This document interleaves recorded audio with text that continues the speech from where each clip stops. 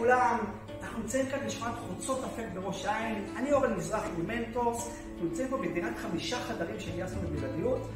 פה מצד ימין יש לנו יחידת מתבגר עם שירותים צמודים, וסלון מרווח עם פינת אוכל נפרדת, הכל פתוח, וכמו שאתם רואים, מושקע ומשופץ. אנחנו יוצאים למרפסת, אה, בואו נראה למרפסת, מרפסת של 14 אה, מטר, בואו, מרפסת של 14 מטר, שפתוחה לנוף מדהים, כמו שאתם רואים, הכל פתוח, והמרחק פה לגנים, לסופר, למאפייה, לקופות חולים, הכל במרחק הליכה בלי להזיז את הרכב.